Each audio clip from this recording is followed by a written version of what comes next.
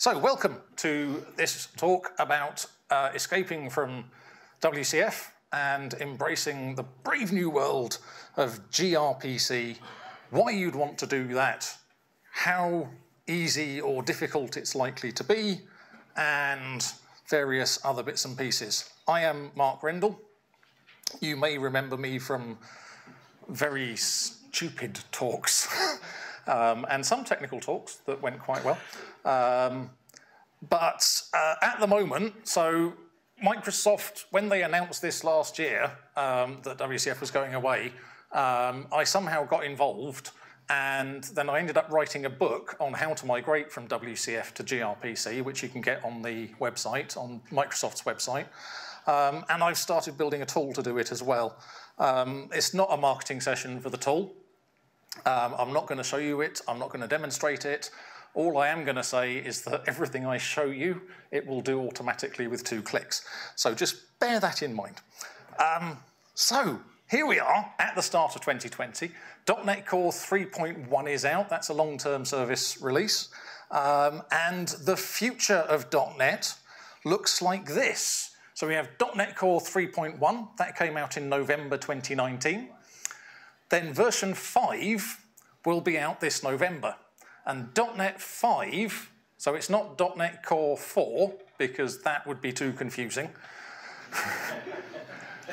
yeah. Um, it's .NET 5, because everybody understands what that means. It means .NET 4 is dead, and you should stop using it, and Microsoft would really, really like it if you stopped using it, because then they could take all the developers that make the patches to do with time zones changing. I think that's the only reason they changed .NET 4 now, is that someone moves a time zone. Um, but yes, .NET 5, it's Mono, it's .NET Core, it's Xamarin, it's the whole stack uh, moving forward. And then once a year, in November every year, we'll get a new .NET release. Um, or that's what Microsoft claim. And so .NET past, we have things that have been brought across to .NET 5 and .NET 3.1, uh, Core 3.1. Not confusing at all. But we have things that are not being brought across. So WPF and Windows Forms are both in .NET Core 3.1. Um, only if you run it on Windows, because Microsoft. But they're there and they work and Microsoft will continue to support those until they convince everyone that the best way to make desktop applications is Blazor and run it in Electron or something. I don't know. So things that are not going into .NET Core and .NET 5, Web Forms is not making it across. Um, and you're supposed to use Blazor instead. So has anyone, who's going to Blazor talks or has been to a Blazor talk? It looks quite good. At the moment, it's, it looks, the server-side Blazor thing, I'm just kind of, that can't be right. I thought view state was bad. We're just going to keep an open SignalR connection for yeah. Um, but Blazor WebAssembly looks quite exciting. Um, I quite like the idea that Blazor WebAssembly, they download a WebAssembly version of technically the mono runtime, and then they just download DLLs, like IL DLLs, and they run them in the browser. And so I'm thinking, if that's the mono runtime, then does that include Mono's implementation of system.web? And if it does, can we download that into the browser and compile our web forms applications to DLLs and then download the web forms DLLs into the browser and actually run web forms inside Blazor? and, and actually, has somebody already done that? And that's what we're all living in. The universe is actually just, this is a side effect of someone running web forms in a browser in a, in a higher existence. Um, so yes, if you've got millions of lines of web forms that you need to port to Blazor, I'm sorry. Um, there's really nothing you can do about that. Uh, WCF is not coming across, and that's what we're going to talk about now to uh, the switching to gRPC, which is Microsoft's recommendation. And then there's Workflow Foundation. Hands up who used Workflow Foundation. Okay. I swear to God, I've done this talk half a dozen times. That's the first time I've seen hands. wow. Uh, Workflow Foundation is actually getting an open source port. Um, full disclosure, so is WCF, but WCF's open source port is going to be a lot more challenging for them to implement properly. And by the time you get to things like uh, MSMQ bindings, well, that's going away. Um, and distributed transaction controllers, good luck getting that working in a Kubernetes cluster. Um, but Workflow Foundation relies less on those things, and so there is an open source port of that. So, WCF specifically. WCF had um, it was incredibly flexible. And one of the main reasons that .NET development teams adopted WCF back in 2008, 2009 was because everybody was doing SOAP. SOAP over HTTP, because that's the solution to distributed systems engineering. It's to wrap a single digit in two kilobytes of namespace infested XML so that you can send it over the wire to a client that's been generated from yet another big pile of namespace infested XML. And you could do all this just by writing a simple class and about 400 lines of namespace infested XML. We loved XML back in the, back in the 2000s, didn't we? Oh, it was the best. But the great thing, if you use WCF with SOAP over HTTP, then it could play nicely with other platforms. It could talk to Java, it could talk to Python. There weren't other platforms apart from those two, I don't think. Um, did Ruby ever do SOAP? Could you write like, probably. Um, but yes, if it wanted to interoperate with other systems, then SOAP WCF was very good for that, the basic HTTP binding. And then you had WCF with NetTCP. And NetTCP opened a TCP connection, not an HTTP connection, just a raw socket connection, and you had a .NET application at one end and a .NET application at the other end, and they could talk to each other and have asynchronous conversations, and it was a binary protocol and very, very efficient and incredibly fast, and you could stream things in both directions at the same time. Um, the problem with NetTCP Microsoft very optimistically said, here is the specification for NetTCP. Java people, would you like to implement that in Java so that you could talk to our NetTCP services? And the Java people went, no. Uh, so if you used NetTCP, it was a .NET application talking to a .NET application, at which point you might as well use .NET remoting. So, and of course, the configuration, the, oh, I hated configuring WCF. I absolutely hated it because they didn't have like decent functioning IntelliSense for the XML at the time because that's quite difficult to do. And you couldn't configure it in code. These days, we can do configuration in code and you just have like action callbacks that pass in builder objects and you set properties on them and then it just magically happens. But no, XML, it's XML all the way down. So, now Microsoft are saying, we're not supporting WCF moving forward. WCF is not coming to .NET Core. Get over it and migrate to gRPC. Who makes gRPC? Google.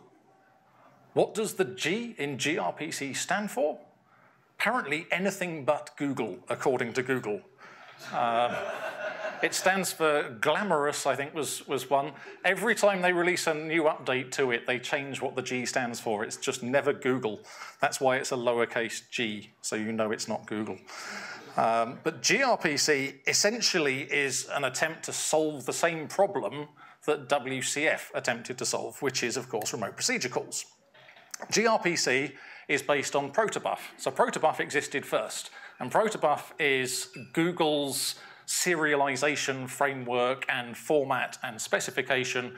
Um, and with protobuf, you create a file that describes your data object, and then you use a file, uh, a, a compiler that generates Python or Java or C++ or .NET, or um, you can even, these days, even though it's all still the JVM, you can get different compilers that compile it to Scala or Kotlin or Clojure.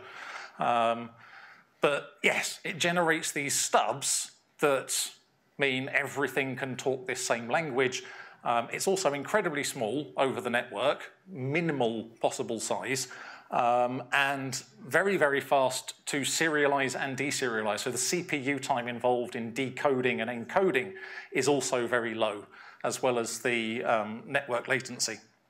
And it's really quite simple.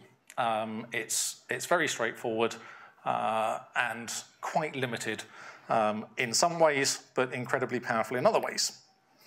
So then on top of this, they built gRPC. They had an internal project called Stubby, which was their own RPC framework, and Stubby had some very, very hairy C and C++ code in there, and they distributed it as a, as a um, linked library. And that could be used by their Python stuff and their Java stuff and their C++ stuff. But it was really very Google specific, um, if there were ever any problems with it, they just hacked more lines of code into it to fix that problem for that particular user, and it had become unmanageable. And then HTTP2 came along, or rather QUIC, no, not QUIC, what was it, SPDY. SPDY came along, which was Google's attempt to improve HTTP, and then SPDY became HTTP2 and everyone adopted it, and that was cool. And then they went, actually, HTTP2 does most of the complicated stuff that Stubby does in terms of framing and duplexing and streaming and everything else. Let's rewrite Stubby over the top of HTTP2. And so they did that and called it gRPC. And it works exactly the same as protobuf. So you, you describe your service in a .proto file, and then you use the compiler, and it generates source code in whatever language you ask it to, and then you just implement the services and it creates clients for other services and everything else. So with gRPC, we get, because it's a binary format, we get the benefits of NetTCP style performance, and because HTTP2 supports uh, multiplexing connections, you're doing a brilliant job there, sign language for multiplexing. um, but yes, and, and uh, bidirectional streaming and everything else. So it can do everything that NetTCP can do, but it supports more platforms and frameworks and languages than were ever able to talk SOAP. Um, it's, quite a lot of them are officially supported, but then there are unofficial implementations for more uh, cutting edge things like Rust has a gRPC compiler implementation. So you get the benefit of SOAP and interoperability, but without XML, and you get the benefit of NetTCP, but your clients and servers can be all different uh, platforms and languages. Here's a list of everything that gRPC supports. .NET, Java, Python, uh, Dart. So if you're doing Flutter, then you can create a gRPC client for your Flutter application in Dart. Um, Elixir and Erlang separately. Um, and so if you're creating telephone switchboards that need gRPC, you can do that. Um, Haskell, because Haskell programmers haven't got anything real to write, so they just run around looking for projects to do. Um, the one thing, so uh, it supports JavaScript, but only in Node, because it's actually a wrapper around the gRPC um, native library. Uh, it doesn't directly support the web browser, because the web browser, the HTTP2 implementation, you don't have enough control over it from JavaScript to do the things that uh, gRPC wants to do with HTTP2. Solution uh, to that was to create a tiny little proxy service that you could run on the same machine or in the same local network as your gRPC service that would then expose it as uh, WebSockets, I think, um, and then your browser application could connect to that and talk to that over WebSockets or HTTP, and it would pass proxy the messages on, which is quite cool. And uh, you know, if you really need to be able to talk to it from the browser, then that's a great solution. Um, I literally saw this on Monday as I was finishing off the prep for this talk. Um, and uh, James Newton King, who works on the gRPC for ASP.NET Core implementation, they've got an experimental thing uh, which they have released as a NuGet package, which does the gRPC web protocol natively inside your ASP.NET Core gRPC application. So you don't need that additional process. So it'll run the gRPC service, but it will also run that proxy in the same process so that your browser applications can connect to it as well. So you don't need that proxy server um, running for your web stuff.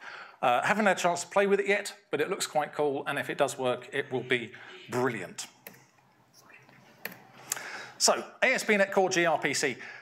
You've actually been able to do gRPC in .NET for a very long time. Uh, there is an official um, first-party implementation. It's been supported by the Google team that works on gRPC for years.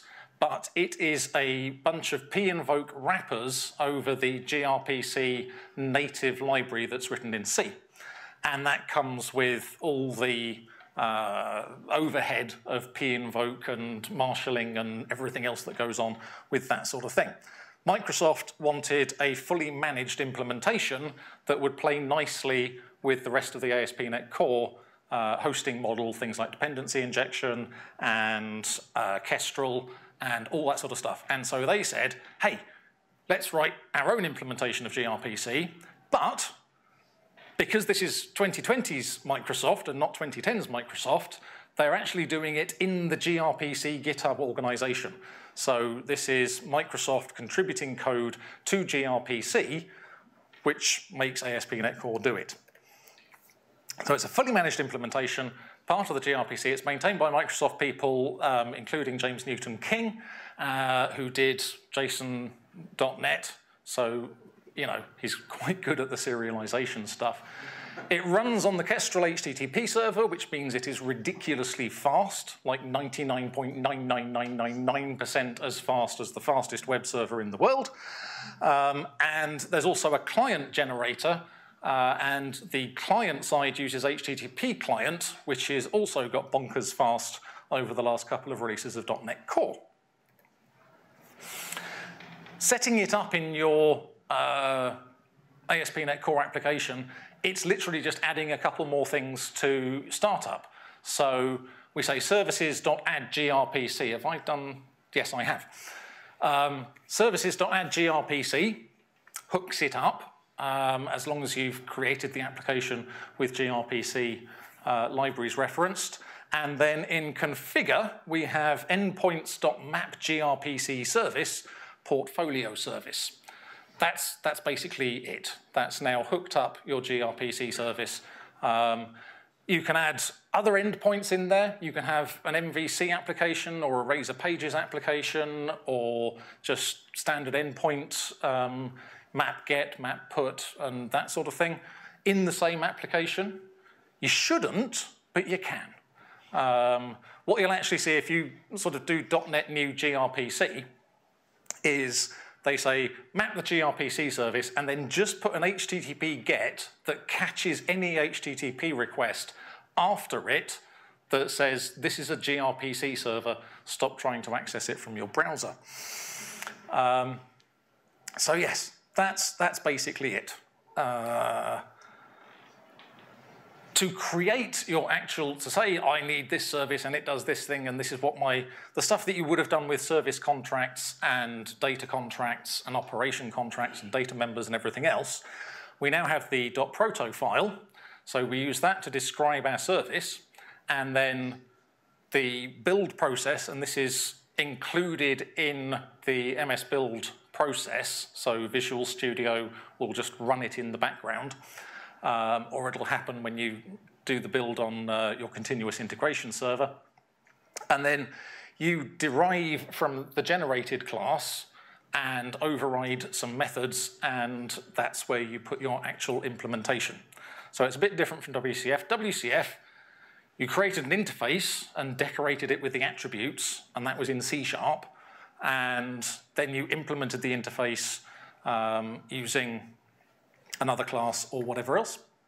Um, and then it would generate the WSDL file for other people who wanted to consume your service, and they could generate their client from that WSDL file. Here, we effectively hand write the WSDL file. That's what the proto file is. It's the description of the service. Don't worry, it's much simpler than WSDL. Has anyone ever handwritten a WSDL file? There's always one. Respect. Um, so yes, you write that file, but it's, it's like code, um, and then you derive from the class that it generates for you in C Sharp. This is a proto file. Um, this is uh, very, very simple. It's got uh, an option with a C-sharp namespace. You can have all sorts of options in your um, proto file for different platforms. So if somebody else who's not using C-sharp uh, compiles this to Java, then it will just ignore that C-sharp namespace. Um, and if you get a proto file from somebody else, you'll probably see a whole bunch of options related to the code gen for other platforms that you don't care about. Uh, the package name, that's important. That becomes part of the URL for the service. And then you have the service, and you have RPCs, and an RPC has a name that takes an object and returns another object. And that's basically it. Um, and then you have your message definitions, which look like this. So we have a portfolio message and a portfolio item message. And uh, Protobuf supports a set of data types natively. And it doesn't support any other data types um, natively. But it's quite extensible, and so there are uh, ways of creating more complex types. Um, but int32 is just a 32-bit integer. Uh, there is also uint32 for an unsigned 32-bit integer, and there's sint32 for a signed 32-bit integer, because of course you need, int32 is also signed, but if you know that your number is going to have a lot of negative values, then you should use sint32 because the encoding is more efficient if there are, think, yeah. Um, we have double, uh, we have uh, string, byte arrays. Um, we don't have arrays, we just have the repeated keyword. And that will, in C Sharp, that will generate a collection for you of type portfolio item. And then the other thing you'll notice, oh, my uh, field names are wrong here. I've used camel case. This is from some old code. That should be uh, snake underscore train case, um, according to the gRPC standards. Uh, yes, the last thing is on the end, you see there is a number by each one of those fields. And that is very important. That number identifies that field in the binary protocol. So it doesn't put the name in, it puts the number, it actually combines the field number with another number that represents the type into a single um, byte, if it can. Uh, the first 15 fields encode one byte smaller than all the other fields. Um, but that number says the first field in portfolio, the number one field in portfolio, will always be a 32-bit integer, um, and specifically that type of 32-bit integer, uh, and it will always be used for the ID. If you change your object, then you can add more fields, and you can remove existing fields, but you reserve the number. And this means that no matter how your service evolves, theoretically, it should always be possible for an older version of the client to talk to a newer version of the server, and even for a newer version of the server to talk to an older version of the client. So those field numbers are incredibly important and very useful. Um, one more thing, which I know is going to please everybody in the room who cares about money, protobuf doesn't have a decimal type. It has double. Yeah, I know. Um, now, the thing is, that's actually okay, because if you turn a decimal into a double, um, it serializes fine. It maintains that value absolutely fine. And if you then turn it back into a decimal at the other end, it's not going to randomly change it. That's not the problem. The problem is where someone pulls down your repeated portfolio item items and then runs a LINQ aggregation over the generated protobuf class, which has got a double in it, and says, what is 5 times 4.99? And of course, as we all know, that's 24.9499999999999999. Um, because it is. So, but you can create your own decimal type quite easily. Um, you just need units and nanos, basically. So that's quite easy. So here is what the implementation looks like. The protobuf compiler um, or MSBuild in our case, has generated a uh, portfolios.portfolios base class for us, and that declares virtual methods for all the methods we declared in our proto file, in this instance, get. And our method, the, the base class method, um, takes a GET request and also a server call context, which is gRPC's equivalent of HTTP context, and has useful information about things like authentication. Um, and it returns a task of get response. It's always asynchronous, because it should be. Um, it will only ever take one parameter. So you can't have multiple parameters to an RPC. Uh, if you have multiple parameters, you wrap them up into an object. And it will always return a message, so you have to declare a message type for it to return. You can't just return an int. You have to wrap that int in a message. Over the wire, that doesn't really do anything, but um, it's, there are very good reasons for this, mainly to do with forward and backward compatibility. So by only taking that message type as a parameter, it's impossible to break the interface as long as you don't break that message, which as long as you keep your field numbers in line, you will never do. If you change the parameter list for a WCF contract method, that's it. All those generated clients out there won't work. And if you're using NetTCP bindings, good luck decoding those error messages. Equally, uh, you, have to you also have to return a response. There's no such thing as a void RPC. It has to return a response. That response can be empty, and quite often it will be empty. If you don't care, if there's no information to come back, you return an empty response. But again, if at some point in the future you suddenly went, you know what, it would be quite, easy, quite useful to get the number of rows that were updated in the database back from that method.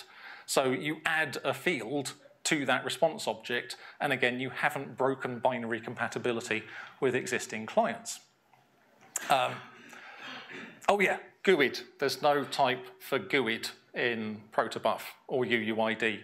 Um, fun thing though, uh, when you come to convert your, or try and represent your GUID in a proto file, you might be tempted, as I was, to represent it as a byte array, because a GUID is a byte array. Yes, that's absolutely fine.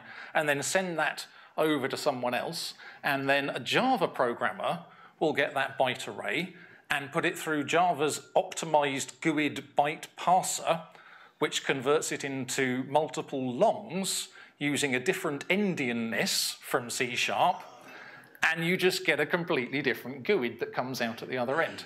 The really fun thing is when it serializes it back again and sends it back to C Sharp, it doesn't even come out as the GUID that gets C Sharp. It doesn't just, no. Anyway, so GUIDs, just use strings. Everything understands GUID notation strings, or UUID notation strings outside of our little .NET bubble, which is why that says trader ID must be a UUID. So gRPC has uh, several modes that it supports, and um, they map fairly well to WCF. And I'm going to show some code examples in a minute um, of uh, first a simple request reply service. So WCF, basic HTTP binding, the sort of thing you would just do SOAP. You pass a request, it returns a response. And that's the simplest gRPC thing. You pass a request, it returns a response. WCF, with certain bindings, if you returned an IEnumerable from your uh, operation contract method, it could stream those items. So it would send the first one as soon as it was ready, and then they would stream over one at a time. Worked very well with NetTCP binding. Um, didn't work at all with some of the other bindings. gRPC can return a stream uh, from the server, which you can then enumerate over and read the objects off. gRPC can also send, so open a stream to the server and then just send messages up it, which is kind of like uh, WCF where you've got an operation contract with one-way methods. So it's fire and forget. I don't care, just do it, um, don't get back to me. Uh, WCF's most powerful feature, the full duplex. So the client has an interface that it can use to send uh, message calls to the server, and the server has a callback interface that it can use to invoke methods on the client. And so you had a two-way conversation which allowed you to do a lot of very powerful things. Um, gRPC has bidirectional streaming. So you can, the server can return a stream, the client can open a stream to the server, and then they can send messages in both directions completely independently of each other. And then you can write some funky code that will effectively make that work like full duplex, which I will show you shortly. If you were using WCF with a binding to MSMQ, then just write the code to write it to the queue. And um, yeah, sorry. Or write a GRP, gRPC service to write it to the queue, and then use, uh, uh, yeah. Um, but that's MSMQ. Uh, particular software, apparently MSMQ is dead, according to their blog, so don't use that anymore. So, um, basic binding looks like this. Um, so here we have a WCF, or what used to be a WCF service contract. It's a hotel service. Um, it's got a method get available rooms, which takes a date time offset of a check-in date and a date time offset for the check-out date, and returns a list of rooms. Uh, we also have a simple method where you specify the room number, and it just returns that room. Uh, we have a more complicated one where you specify a list of numbers and it returns the matching list of rooms. And then finally, we have a streaming method where you just say, just get me all the rooms. But bearing in mind that that could be those big Hilton hotels just over the river, that's a lot of rooms. So don't build a massive list on the server and send it over all at once. The implementation for that we just implement that interface and we've got our um, data repository and we're just going to return a list here and we're going to return a room there. Um, and all rooms is returning an IEnumerable. So that's a very thin wrapper around effectively a repository class. And our room object here, um, room has a number, it's on a floor, it's got a name, just in case it's called like the Lincoln Suite or something um, and it's got a price which is a decimal. So to represent this in a protobuf file, um, our hotel service looks very similar. I'm going to make this a little bit bigger. Can everyone see that all right? At the back, just about, good. Um, so yeah, our hotel service, effectively this becomes our uh, service contract interface. So we're saying it has these methods, they take these request types and they return these response types. So we've wrapped the parameters for each of those methods in a gRPC, uh, in a protobuf message. Um, and I've just named those after the uh, method that they apply to. So get available rooms has a get available rooms request and returns a get available rooms response. Um, now you might be tempted at this point to say, I'm going to create a reusable message that can be shared by multiple services um, called rooms list, which has just got a repeated rooms field in, or room field inside it. Uh, it's generally a better idea to do it this way. So for the wrapper message around your request and your response, create it separately for each method so that if one of them needs to add a field to its parameters or add a field to its response, you're not going to break all the others. So you're future-proofing your application this way by duplicating a little bit of code. And, you know, it's copy and paste. We're programmers. We're good at that. if you've got the Vim plugin, it's yank and paste. So, yeah. Now, another type that protobuf does not have is a date or a date time um, or a date time offset. Uh, what it does have is something called a well-known type. And as soon as you try and build anything real in gRPC, you will start needing to use the well-known types. This is a library of protobuf definitions that are part of the core system. It's like the standard library for protobuf. But they are defined in protobuf and you can generate the code for them the same way you can generate the code for your own proto file. Um, datetime offset and datetime both map nicely to timestamp. Timestamp does actually include time zone information. So it's strictly, it's more like date time offset than datetime. Um, so we import google slash protobuf slash timestamp.proto, and then down here, we use the message type, uh, the field type google.protobuf.timestamp. There is a standard for this, so the path to the import, that doesn't actually exist anywhere on disk. The compiler just knows about it, it's built into the compiler. Um, but the name of the type is always the path with the slashes replaced with dots and then Pascal case on the thing at the end. So slash protobuf slash timestamp becomes dot protobuf dot timestamp. And here I've actually got my proper case on the fields. Um, and we have a get room request and a get rooms request, and we have an all rooms request, doesn't take any parameters, so I just declare an empty object. If later on I decide I want to add a parameter to all rooms, then I can and I don't break any existing clients. You still have to write code for these, by the way. You have to sort of say, if that field's not set, then do something sensible. You can't just add a field and then assume that it will always be set. It might not be.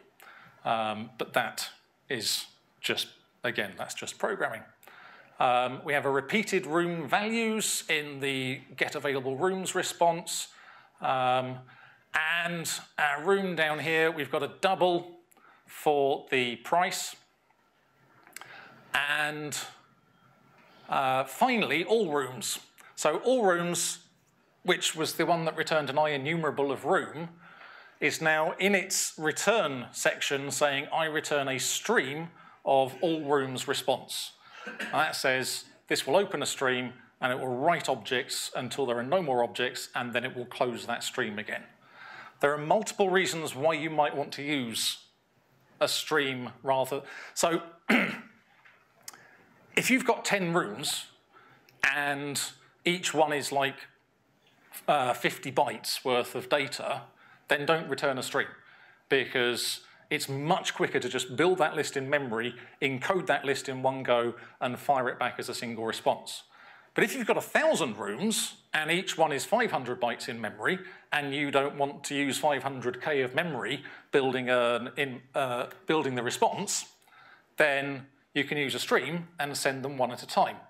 Equally, if you've just got a bunch of objects and they take a long time to calculate, they take a long time to construct from whatever sources, and you want the first one, the client can start using the first one while you're still working on the others, then you can use a stream to give more responsiveness for your user.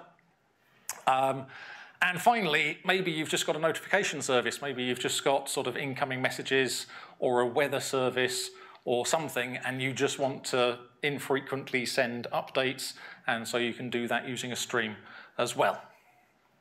So, um, then we have our room conversion. So this solution was converted from uh, a .NET 4.7.2 WCF solution. And that solution um, had this room class in it, which was a data contract, and it had data members, um, which have now been commented out. Um, so this conversion class has been generated, and that's gone into the Protos folder as well. Um, so the Protos folder is where by convention you put your proto files. You don't have to, you can put them anywhere you want, but that's where the boilerplate puts it for you. Um, the proto file has said use hotelcore.protos as the namespace, and all the classes that gRPC generates for you are partial, which means you can uh, add functionality to them. Uh, and in this case, I've added implicit operators to convert between the protobuf room message and the old uh, room data contract type. And you can see here that it just uh, sets the fields and calls convert dot to double on the price and convert dot to decimal um, on that price there. Um, and then finally, the uh, service code itself, so this is my implementation code here, um, this is where it implements the uh, methods from the proto file, from the service in the proto file, um, and we inject, basically I've just copied the old service contract implementation over from the WCF application, um, and I inject that into my gRPC service, and then for each one of those requests, I just call the equivalent service contract request, um, converting check-in date, which is a protobuf timestamp, to the date time offset. Um, and then I create a new get available rooms response, write the values into response.values, and then because the original code here was synchronous, as a lot of WCF code is, um, I just return a task from result on there. Um, similar thing with get room response and get rooms response, just pulling numbers out and into arrays. But essentially all I'm doing here is mapping from the gRPC request and response messages and the gRPC methods to the old service contract method.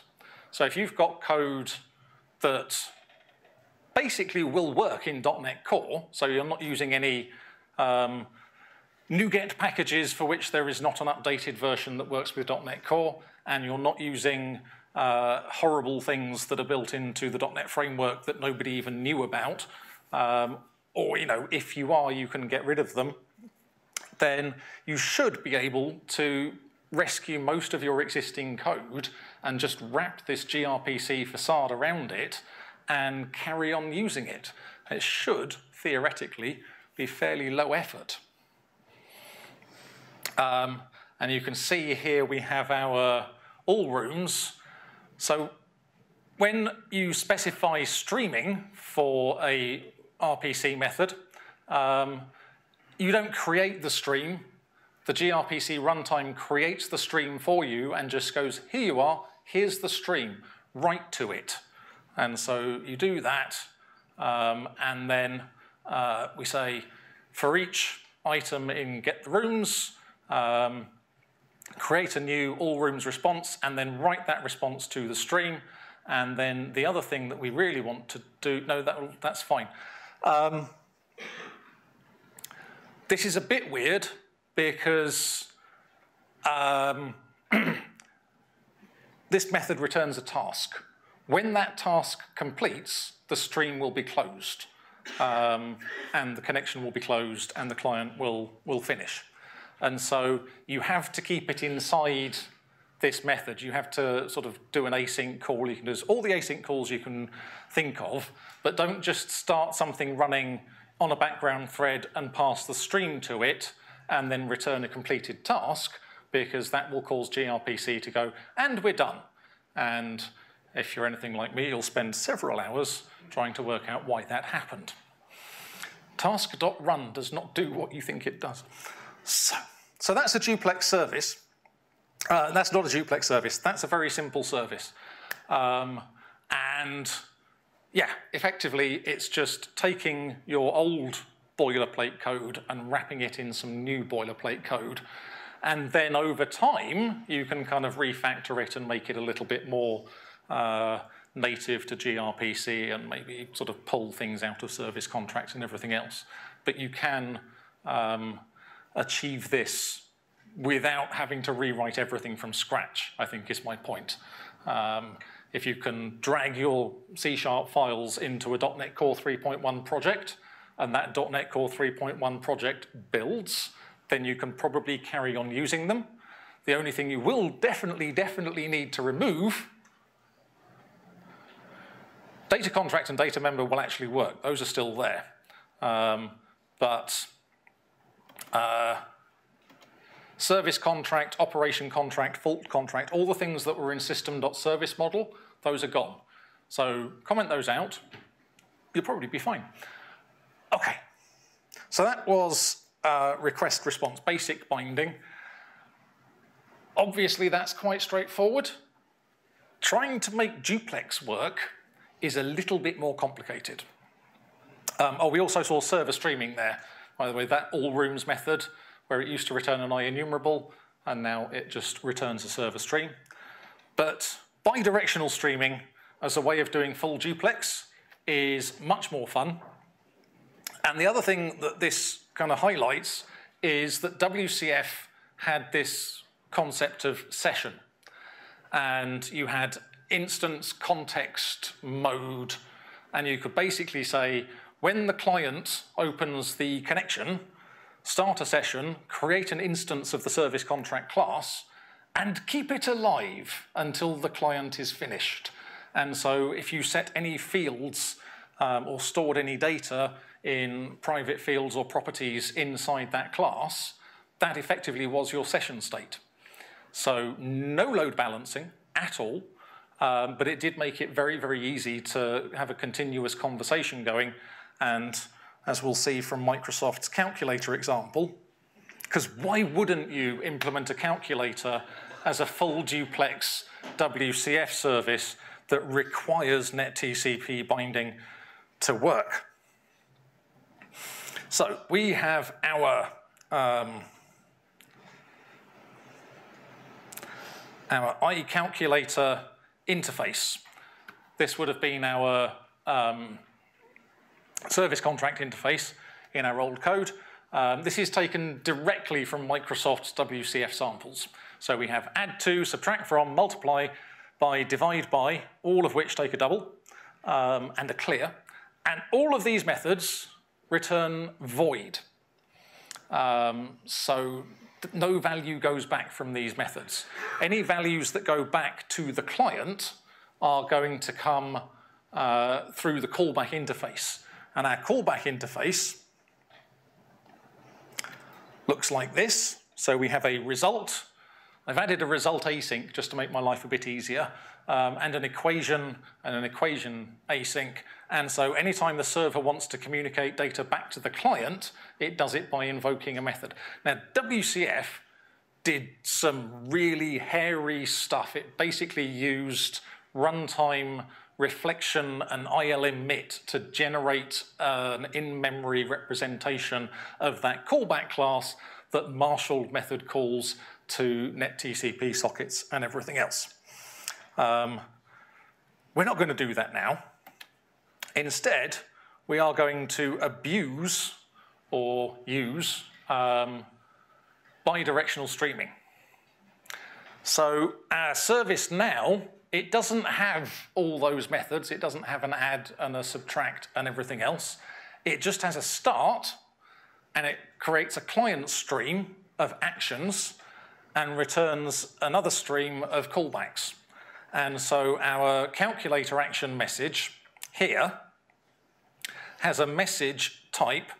You can nest messages inside other messages, um, which is a really good way of making sure you don't get clashes between type names. Um, and so our calculator action has nested message types for clear and add to and subtract from. Um, and then it uses a one of. So one of is a protobuf keyword and it says, here is a uh, subset of fields within these braces. Only one of these can be set. Um, and if you set one of them, and then set another one, the first one that you set won't be set anymore. And so this calculator action will either have a clear or an add to or a subtract from, and you'll be able to tell which one it is. So this is effectively like a variant type or a union type. It's saying this message will be one of these things. And the callback, same thing. We have a result callback and an equation callback and another one-off field in there. Um, and then we have our calculator um, implementation here. So this is matches the service contract implementation. So we have our add to um, and our subtract from and everything else. Um, and we have a callback type, which works just like our uh, callback would have worked in WCF with full duplex binding, except instead of operation angle brackets, the type of the callback contract, we're just going to create it ourselves and pass it in. Um, and then our uh, service, and this is the point where it gets really fun, is we have our start method here, and that gives us the request stream, which is the requests coming in from the client, and the response stream, which is the way that we can write responses to the client, and our server call context, as before. And then, because this is .NET Core 3.1, and we're doing C Sharp 8, we've got async enumerable, and so request stream um, is an IAsyncStreamReader, but there's an extension method on that that turns it into an IAsyncEnumerable, of those requests. And so we can just do an await for each. Then we can have a switch statement. And that action, as well as having the fields for things like clear and add to, um, it generates an action case enumeration and a field of that type. And that tells you which one of the fields is set. So we can very quickly switch over that and we can say, if it's a clear message, then invoke the clear method. If it's an add to message, invoke the add to method. If it's a subtract from message, invoke subtract from. And then down here, uh, you can see that invoke add to async, it passes in that action and it just calls that on the contract. Contract was passed in up at the top here, um, or as a factory to create it. And then the client code for that, because it's no fun having this. So we have a uh, program.cs here, and we have a calculator client adapter. So it's all very well you on your team, on your server side, saying, hey, we've created a gRPC version of this, and all you have to do is instead of implementing a callback interface, you have to subscribe to a stream of callback messages and decide what you're going to do according to the type of the message and whether that's a result callback or an equation callback.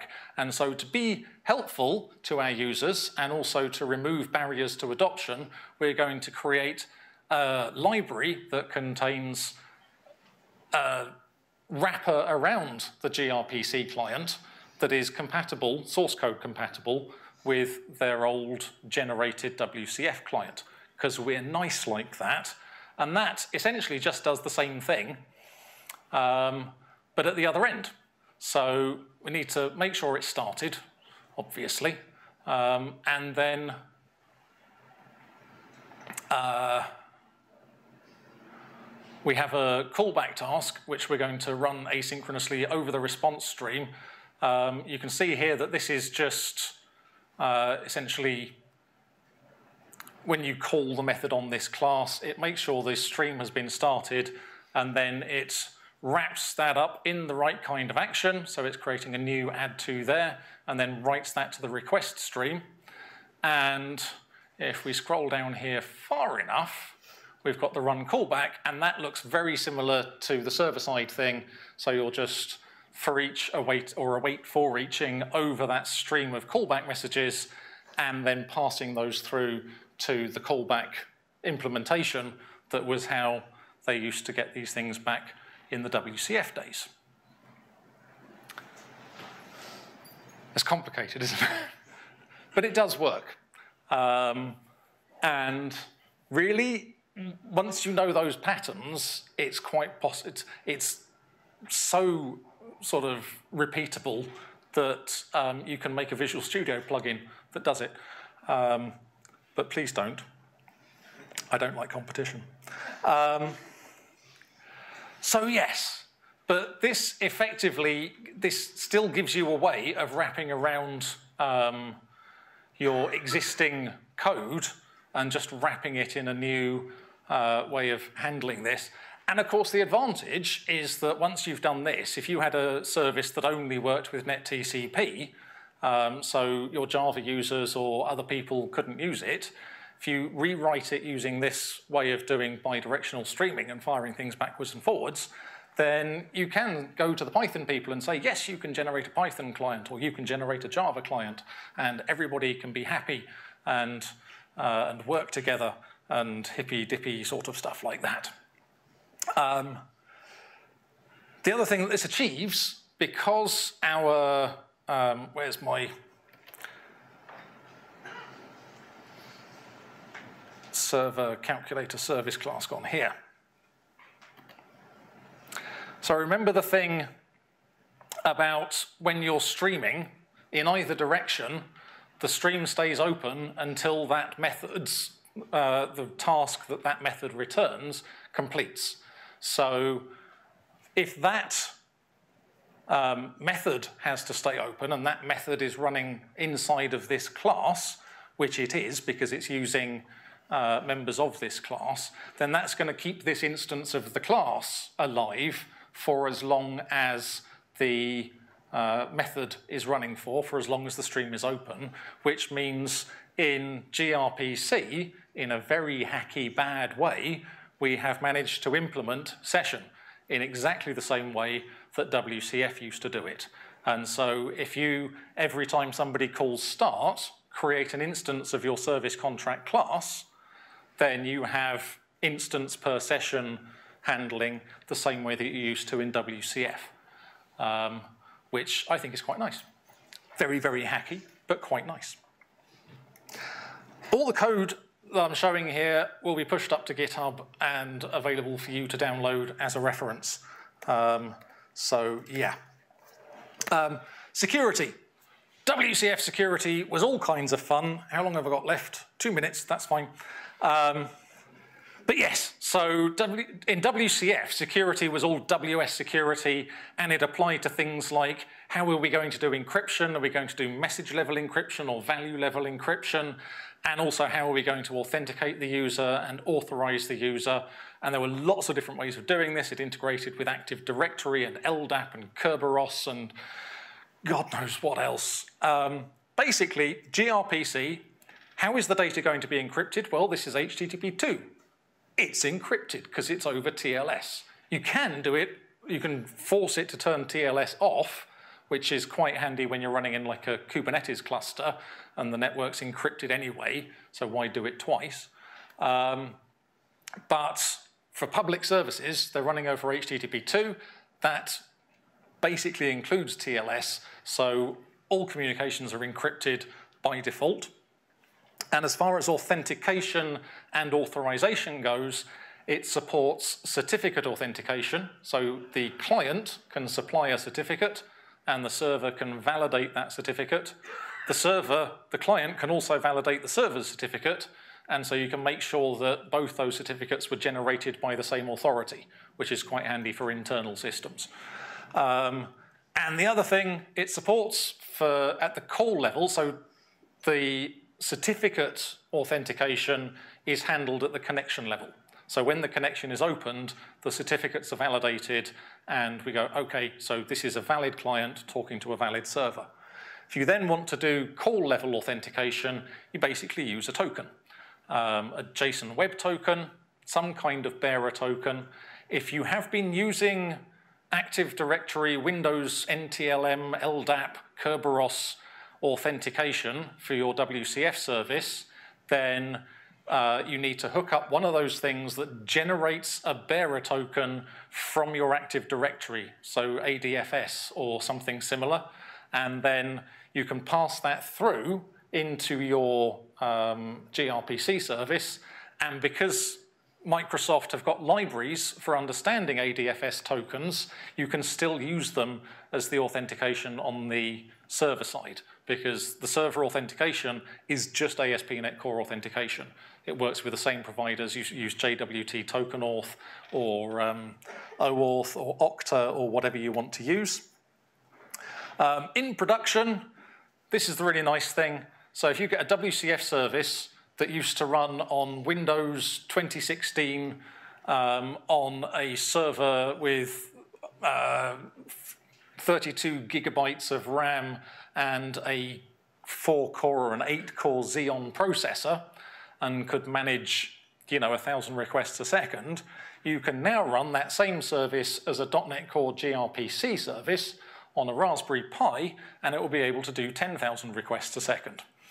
Um, so you can run, the one thing you can't do with an ASP.NET Core 3.1 gRPC service is run it in IIS. You can run it natively on Windows, you can run it behind Nginx, you can run it behind a web server proxy, you can do authentication at that proxy. You can't run it in IIS because IIS doesn't implement all of HTTP2's optional, sp specifically response trailers. This is a matter of waiting for IIS to catch up and possibly by the end of this year you will be able to do that.